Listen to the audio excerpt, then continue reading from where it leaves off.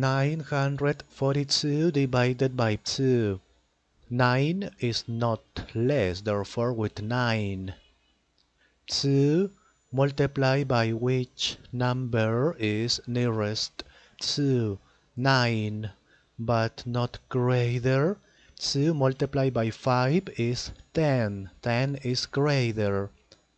Multiplied by 4 is 8 is not greater. Okay subtract 9 minus 8 is 1 next 14 2 multiplied by 8 16 16 is greater.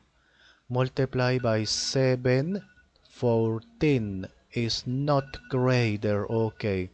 Subtract. Next eliminate 0 okay. 2 2 multiplied by 1 2 is not greater. Okay. Subtract. Next. There is not number. Therefore finish it.